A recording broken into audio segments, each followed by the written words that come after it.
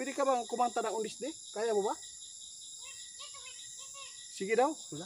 Kakanta na tayo guys. Undis Day.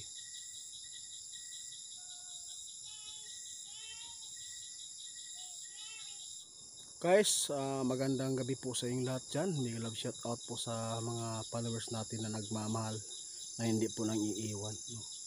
Dito po ako ngayon sa bahay ni Linyo.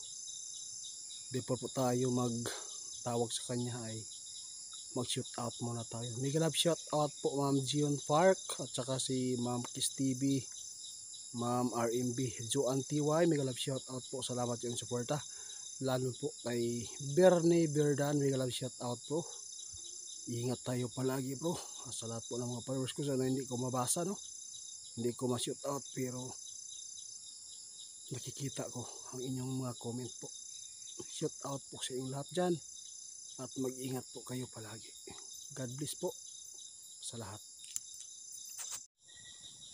Linyo, mayang gabi Linyo Linyo. Linyo?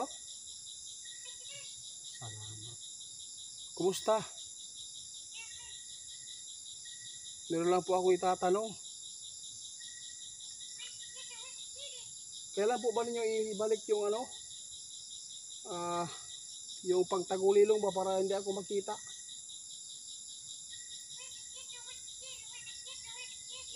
Yeah. Guys, sabi po ng kaibigan ninyo guys, binigyan na po niya. Kailan po? Guys, andyan pala si Rinyo kanina guys nang ini-sniper po tayo sa kalaban po. Kaya pala hindi tayo natablan daw. Kasi naibigyan na po niya pala yung tagulilog sa atin. Saan mo nilagay? Nasa bag daw guys. Kaya pala hindi tayo tinablan. At saka nang sugurin po natin yung kalaban, hindi po niya tayo nakikita. Linyo, maraming salamat ha. Hindi ko talaga inasahan po kanina. Nang binaril po ako eh. Salamat. Grabe guys. Kaya pala guys, hindi po tayo tinablan dahil po nandyan pala si Linyo. Doon sa area kung saan po tayo ay in-sniper po ng kalaban ng rebilde. At saka yung ano, yung bato na ah, mutya, yung binigay po sa atin noon, nasa bag po. At saka nagamit natin ngayon na dahil po iba talaga yung kilos ko at saka hindi po niya tayo nakikita ninyo maraming salamat nakikita po ba ninyo si Dudong ang sabi ni kaibigan ninyo guys si Dudong ngayon ay okay lang po daw. Ano kaya ang kanilang balak po ngayon? Hindi po dilaw nila guys. Papatayin. Pero ako daw yung kapalit. Bakit po? Ano bang kailangan kailangan po nila sa akin? Ang sabi ni kaibigan ninyo guys yung nakalaban po daw natin ngayon kagrupo ni Ramel sumanib lang sa rebelde doon sila pumunta kaya pala hindi sila mahuli-huli maraming salamat kaibigan Kailan po pa ninyo kukunin ito? Ang sabi ni kaibigan ninyo guys, hindi pa daw niya kukunin yon hanggat mailigtas si Dudong at magagamit po natin. Salamat kaibigan ninyo. Oo, hanggang dito lang muna. O salamat, salamat. Guys, hindi ko na lang po uh, kulitin si kaibigan ninyo. Kaya po bang, uh, di ka lang muna. Pwede ka bang kumanta ng Undis Day? Kaya mo ba? Sige daw. Wala. Kakanta na tayo guys. Undis Day.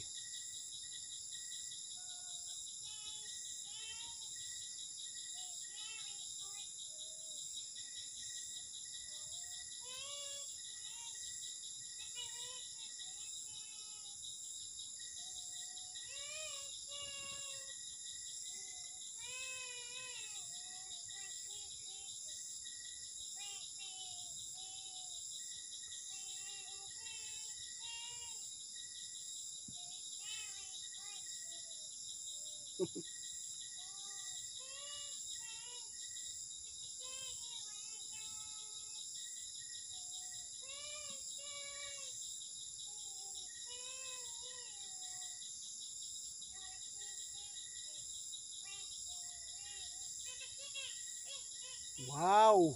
Salamat ninyo. Salamat. Bye-bye po. Salamat sa kanta. Grabe guys, natuwa po talaga ako kahit may problema po tayo. No? Ipinaabot po niya na si Dodo kay okay lang daw. Pero ako na yung kapalit. Kasi gusto po daw nila makaganti. Grabe, parang kakaiba po yung boses ni Linyo ngayon na, na binigay po niya sa atin ngayon. Napakaganda, napakalamig yung boses guys. Walang ah, pinagbago. Ang pagmamahal po ng kaibigan nating diwindi ay nasa inyo pa rin, no?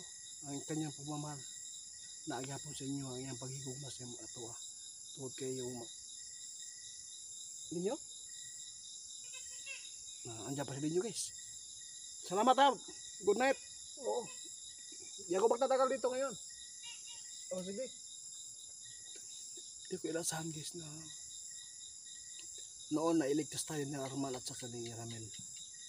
Ngayon naman si Linyo. Kaya pala nang binaril tayo. Hindi tinalab, hindi tumalab po yung bala. Naiyak po ako guys dahil po. Kinantahan po niya tayo kahit may problema tayo. Kasi na nakita ko sa kanya na pinalakas po niya ang loob natin. At saka yung pagmamahal po niya kaya kinanta po niya yung undis dahil po alam ko 100 subscriber tayo. Yung pagmamahal niya po sa inyo hindi po nawawala. Maraming salamat po yung suporta guys. Sana po ay hindi po inyo ang makakalimutan si Linyo. Kung wala si Linyo kanina guys, hindi na nyo na ako makikita pa. Ito lang masabi ko. Mag-ingat po tayong lahat. Kahit may mga problema dumaan sa atin, dapat po ay laging matatag tulad po namin yung team ko. Hanggang ngayon hindi pa nakauwi. Pero umasa tayo. Naligtas po dahil po andyan si Linya. Salamat po sa Panginoong Diyos no? kasi po binigyan po tayo ng malakas na pangangatawan pa. Hanggang ngayon hiram pa natin yung buhay. Hanggang dito na lang guys. Maraming salamat